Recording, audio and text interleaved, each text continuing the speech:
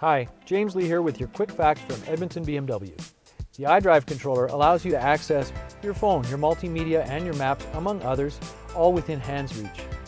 The iDrive is a joystick, a dial, a selection button, a touchpad, all in one.